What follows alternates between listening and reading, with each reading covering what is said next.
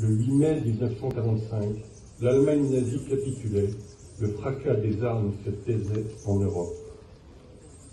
Ce jour-là, il faisait chaud sur la France comme dans le cœur des Français lorsqu'ils ont appris la nouvelle.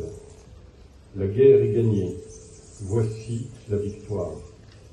Ces quelques mots, prononcés par la voix du général de Gaulle, qui depuis le 18 juin 1940 avait poursuivi le combat, ont résonné dans le pays Jam 不